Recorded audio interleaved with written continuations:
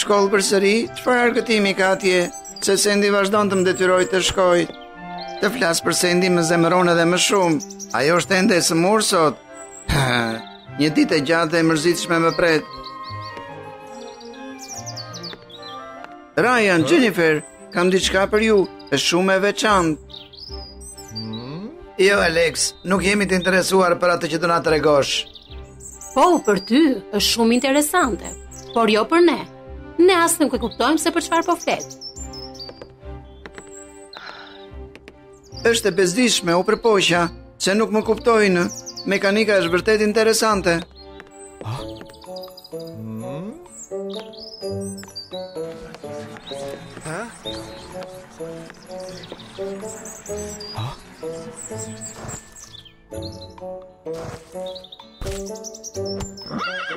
Hej, çfarë po bëni ju djema? Pse nuk e ndihmoni këtë kalë të gjorë. Ta ndihmojmë? A mendon se dëshiron të ndihmohet? E drejtë. Ky kalë është simbol i fatit të keq, nuk ka nevojë ta ndihmosh. Por nuk është për shkak të kësaj që ju e injoroni dhe pastaj e ngacmoni ashtu. Mos u mundo të jesh i mirë, ne u përpoqëm, por jo vetëm që nuk ka nevojë për ndihmë, por edhe synon të na sulmojë. Nëse je i mirë, atëherë shko dhe kujdesu për të për të parë nëse të sulmon. Të gjithëve le të shkojmë.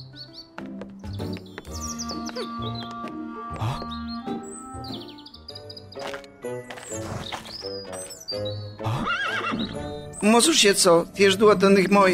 Nëse nuk dëshiron, do ta lë këtu dhe do të shkoj. Ti duhet të hash dhe të rifitosh forcën.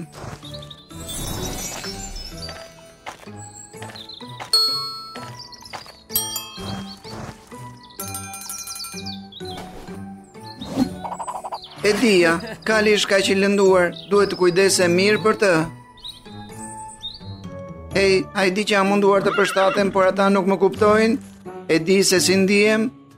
O Zot, mund të më kuptosh? Epo atëherë tani e tutje, ne do të jemi miq të ngushtë. Vetëm ji i sigurt, mik, kjo është Sandy, motra ime. Alex, a është ky kali për të cilin flet gjithmonë? E drejtë, ky kalë është shumë i zgjuar. Provo t'i bësh një pyetje. Pony, A është Aleksi kaq budalla? Sendi, Sendi kam një lajm të keq. Alex, çfarë ka? Ti nuk duhet të hyje në dhomën time pa trokitur apo jo? Poni, Poni është larguar. Ngadalë Alex, më trego gjithçka me qetësi. Sot si zakonisht shkova të luaja me Ponin, por nuk e gjeta ku ishte.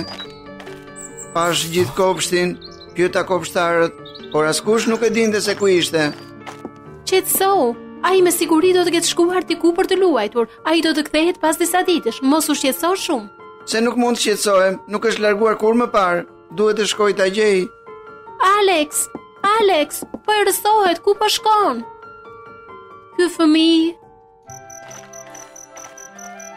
Zotëri, a ke parë ndonjë kalë me gunga në kokë të kalojë këtu? Me sa duket po, mbrëmë e pashë duke vrapuar për në mal, në këtë rrugë. Të falënderoj, faleminderit shumë. Poni, ku jeti? A kam bërë diçka të keqe? Pse iku pa më thënë asnjë fjalë? Poni, kthehu këtu. Hmm.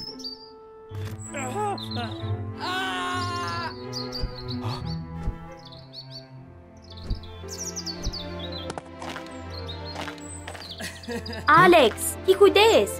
Ti, kush je ti? Si e di emrin tim dhe mund të flasësh? Më harove kaq shpejt? Unë jam kali që ti ke ndihmuar. Çfarë? Çfarë? Në asnjë mënyrë, si mund të jesh ti ai kali i vogël? Po, nuk mund ta besoja vetë. Por pasi u transformova, dija gjithçka. Unë nuk jam nga kjo botë. Unë jam nga raca fisnike e njëbrirëshave, në botën e zanave, por në një kohë të ndjekur nga armiku, nëna ime zbriti në tokë. Ajo e dinte se nuk mund të shpëtonte, kështu që duhej të më linte këtu, por ngaqë isha shumë e vogël, ajo më vuri një dritë kujtese mua. Ajo donte që unë të dija gjithçka, por u shfaq vetëm kur isha e rritur. Ishte edhe kur u transformova në një njëbrirësh. Kur isha e vogël, më përbuznin kuajt e tufës për shkak të pamjes sime të dobët. Më duhej të largohesha nga ai vend dhe për fat të mirë të takova ty. Ti më ndihmove të kem më shumë besim në jetë. Ti je i vetmuar, ashtu si unë.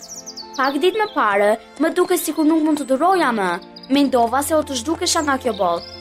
Kështu që u largova për t'u ngjitur në atë mal. Nuk doja të të shihja të lënduar, por siç doli, atëherë kalova procesin e shkrirjes. Dhe sot, kur dëgjova zërin tënd, erdha menjëherë këtu. Për fat të mirë, kam ardhur në kohë për të parandaluar gjërat fatkeqe që do të ndodhnin. Më fal, po doja të të gjeja, por nuk e dija që do t'i komplikoja gjërat. Unë jam ajo që duhet të të falënderoj, pa ty, me siguri që tani, do të mbytesha në vetmi. Ne do të jemi miq të mirë përgjithmonë, mirë? Sigurisht, ne do të jemi gjithmonë miq të mirë. Por ndoshta herën tjetër, më duhet të largohem nga ky vend. Çfarë? Pse? Ku po shkon? Duhet të gjej prindërit e mi. Besoj se janë ende gjallë. Të jesh i sigurt, do të kthehem së shpejti. Mendoj se është gjëja e duhur për të bërë. Por ka një sekret që dua të të them. Cili është sekreti? Mbylli sytë. Mirë, hapi sytë. Kjo është Jam unë, në formën njerëzore, duhet të transformohem në njeri për të mos tërhequr vëmendjen, mos e harro këtë formë timen. Ah. Mirupafshim njëbrirësh, do të pres gjithmonë që të kthehesh. Në datëlindjen e saj të nëntë, princesha e vogël Lina zbuloi se kishte një fuqi shumë të veçantë. Vetë Lina mund të lëshonte zjarr, por nuk dinte ta kontrollonte këtë fuqi. I gjendur përballë kundërshtimeve të popullit për të mbrojtur të bijën, mbreti u detyrua ta mbyllte Linën në një dhomë si të burgosur. Pasi duroi për pak kohë izolimin, Lina gradualisht u bë e vetmuar dhe disi në panik. Fuqia në trupin e saj që ndizej në çdo moment ishte e vështirë të kontrollohej. Me këtë forcë të re, ajo kishte frikë se mos lëndonte prindërit, motrën dhe të tjerët. Duke menduar se ajo vetë do të bëhej një rrezik për të gjithë, Lina zgjodhi të largohej nga pallati. Megjithatë, gjërat nuk ishin aq të thjeshta, aq më tepër që Lina nuk mund të kontrollonte flakët e saj. Përballë kësaj situate, ajo që mori Lina ishte vetëm keqkuptim nga njerëzit. Ata menduan se ajo donte të shkatërronte pallatin. Unë nuk doja. Unë më vjen keq. Së shpejti, ajo gjeti rrugën e saj nga pallati. Falë një karroce vere, princesha kaloi me sukses rojet e rrepta. Pavarësisht gjithë kërkimeve intensive nga familja e saj, Lina këmbënguli të largohej me çdo mjet.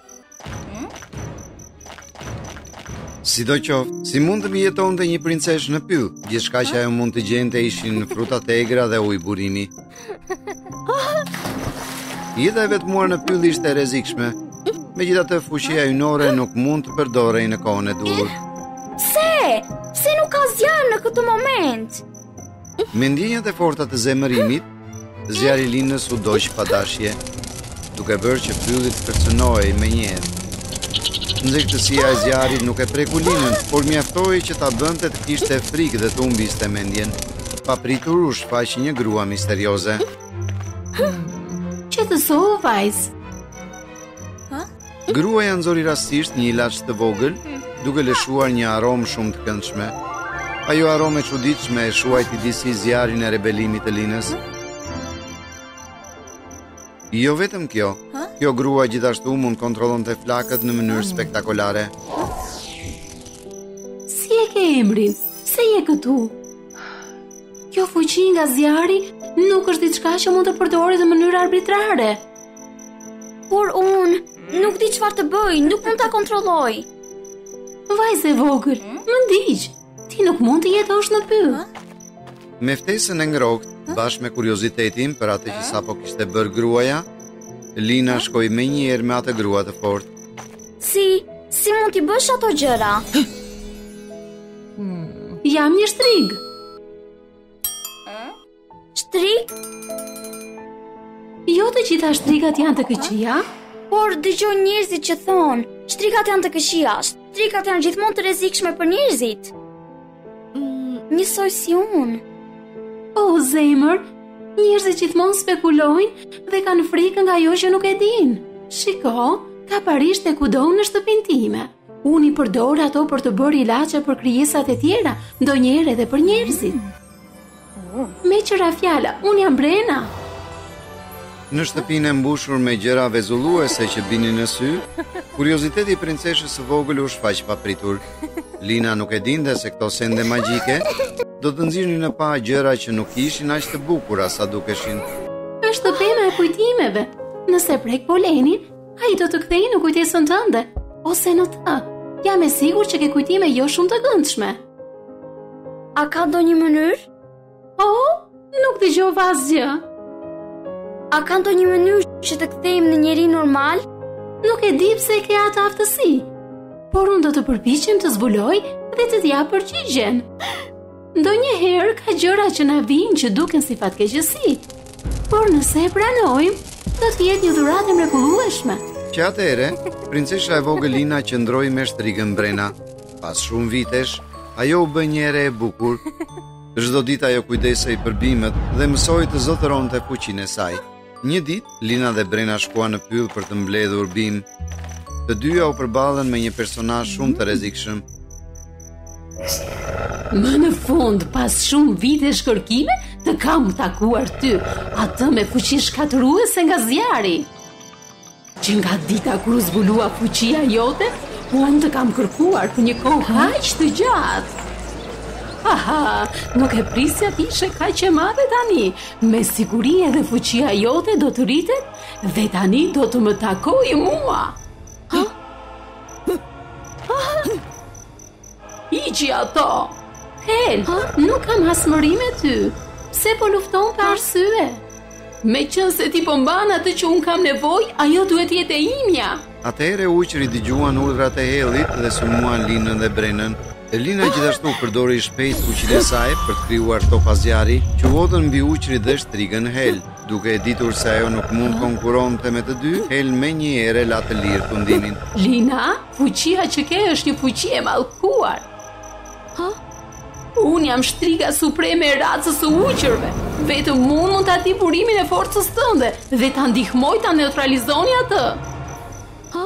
Nëse do ta heqësh këtë mallkim, eja të më gjesh. Me këtë, Heli dhe ujqërit u larguan, hmm? por fjalët e saj ende jehonin në kokën e Linës. Hmm? Brena, hmm. a është e vërtetë që Hel mund të më ndihmojë të heq mallkimin? Kjo është e drejtë, sepse fuqitë e tënde janë të mallkuara, që do të bësh gjithmonë gjëra kaq të frikshme. Pas atij takimi, edhe Brena kuptoi të vërtetën pas fuqisë së Linës dhe vendosi të kalonte gjithë kohën e saj në bibliotekën e nëndheshme, duke kërkuar një përgjigje të kënaqshme.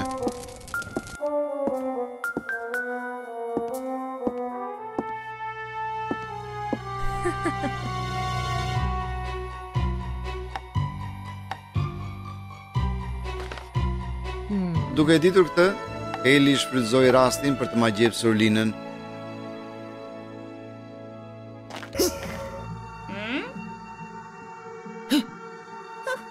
Ajo kaloi tre ditë e tre netë duke krijuar një ilaç të aftë për të kontrolluar mendjet e njerëzve.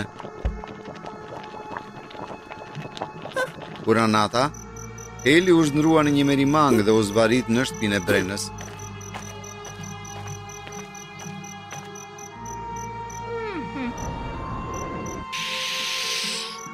Duke parë Linën në gjumë të thellë, Heli lëshoi një fije mëndafshi merimange pranë buzëve të Linës dhe kaloi helmin përmes saj. Pika e helmit që preku buzën e Linës ndryshoi ngjyrë dhe hyri në fuqi, duke bërë atë të zgjohej në mënyrë të pakëndshme. Për shkak të helmimit, fytyra e Linës u bë ndryshe.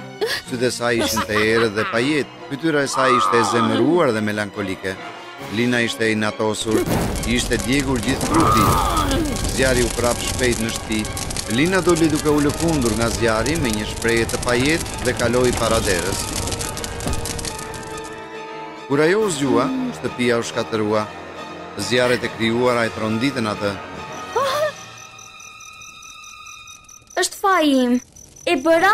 Si mund ta bëj një gjë të tillë?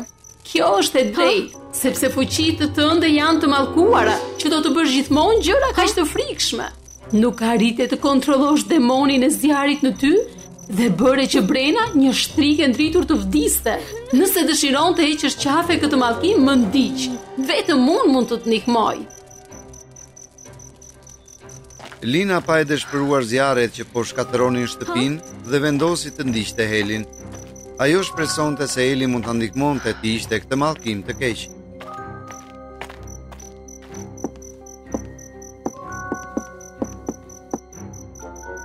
Mirë se vjen në shtëpinë time misterioze.